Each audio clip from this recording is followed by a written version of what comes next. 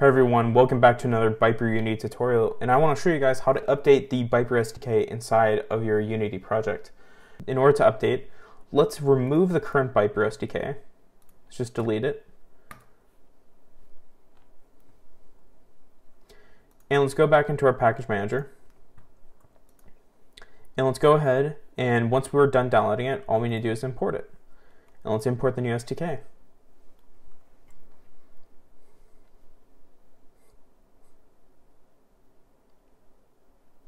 From there, it's been imported. And because we did delete and uh, add a new one, we need to go back. See the ByteBrew prefab is still there, but our SDK settings are not there. So let's go back and select ByteBrew settings. And since Candy Game is an Android and iOS game, let's go ahead and hit uh, input the game IDs. And all you need to do is to grab those back, is go back into our go go back into our app dashboard, go down to Candy Game, go down our settings, and you guys just need to import the game ID and SDK keys for both Android and iOS for both those apps. Thank you guys for watching, and I'll catch you guys on the next one.